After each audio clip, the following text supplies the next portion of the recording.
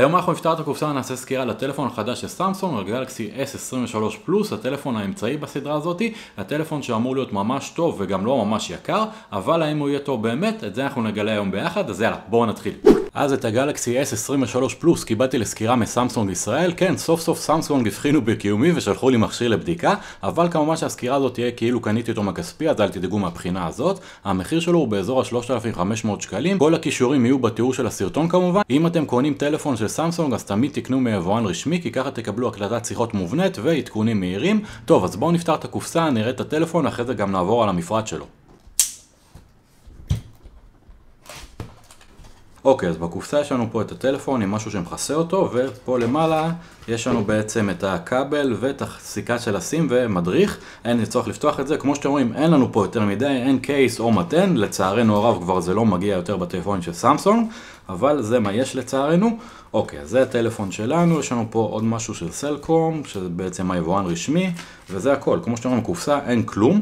בואו נראה אם יש אה, סוללה, אם הטלפון ידלק לנו.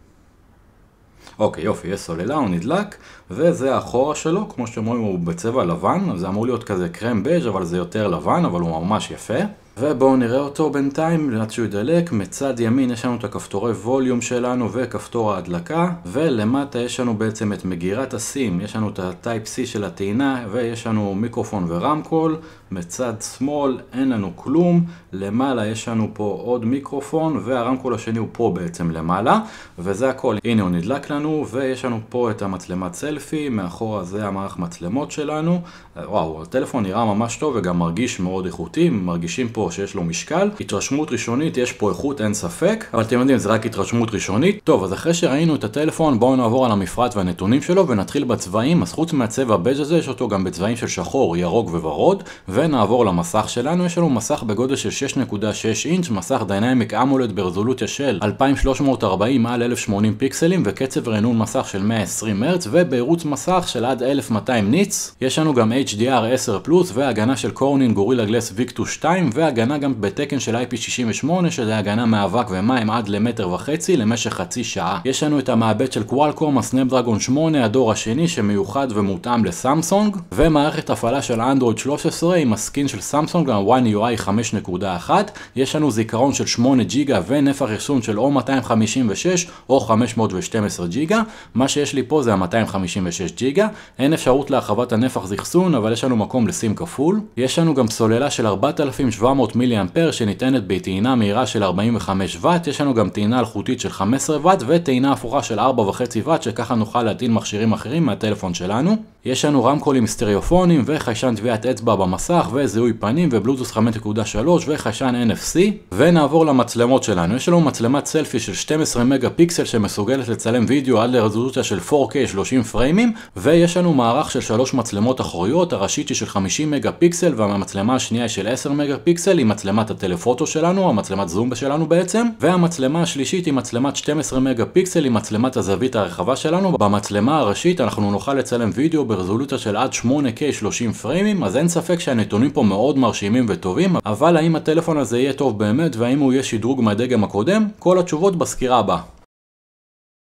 אז אחרי שימוש של שלושה שבועות בטלפון של סמסונג גלקסי S23 פלוס, זה מה שאני חושב עליו, נתחיל מהמראה והעיצוב שלו, הטלפון מאוד יפה ומרשים ומרגיש מחומרים איכותיים, וגם אני ממש אהבתי את הצבע הלבן הזה, הוא מאוד נקי ויפה, ועוד משהו שאהבתי זה את הגודל של הטלפון, ולטעמי בגודל המושלם, לא גדול מדי ולא קטן מדי, והודות לזה הוא מאוד נוח לאחיזה ושימוש, ונעבור למסך שלנו, יש לנו מסך בגודל של 6.6 אינץ', מסך Dynamic AMOLED ברזולוציה של 1080 על 2340, וקצב רענון מסך של 120 הרץ, ובהירות מסך של של עד 1750 nits, וכמו שזה נשמע על הנייר מרשים, גם בפועל זה מאוד מרשים, המסך פה חד וברור והצבעים בולטים וחדים. מאוד כיף לראות בו סרטונים, וגם הודות לבהירות מסך הגבוהה שיש פה, אז אפשר גם לראות את המסך בקלות גם בשמש. יש לנו גם את המעבד החדש של קוואלקום, הסנאפ דרגון 8, הדור השני שלו, שמותאם לסמסונג, המעבד פה פשוט מוצלח, הוא מאוד מהיר ואין תקיעות או תקלות, תוכלו גם להשתמש בהרבה אפליקציות במקביל, וזה לא יזיז לטלפון, וזה יעבוד מהר ללא שום בעיה, וגם במשחקים אתם תקבלו פה חוויית משחק מעולה עם הרזולוציה הכי טובה שיש, יצא לי לשחק איתו בהרבה משחקים ובכולם קיבלתי את האיכות הכי טובה שיש, ומאוד נהניתי מכל רגע של משחק, אז ככה שהטלפון הזה מעולה גם למשחקים.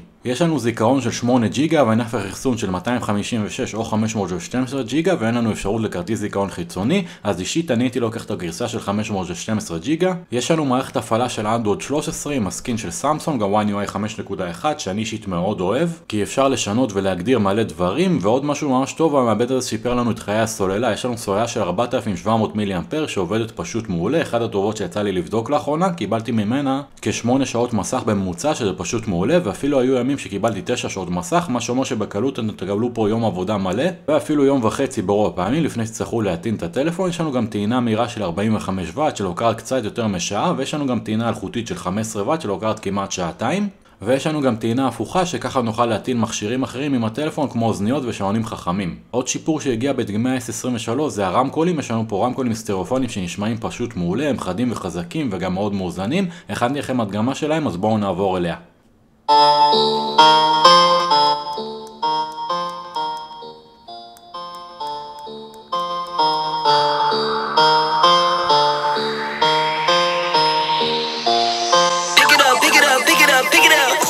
See the drippy, I'm fitted up.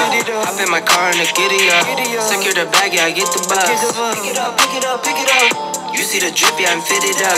Hop in my car and the giddy up. Secure the bag, yeah, I get the bus. Pick it up, pick it up, pick it up. pick it up. Ooh, I've been on the flex since flex on.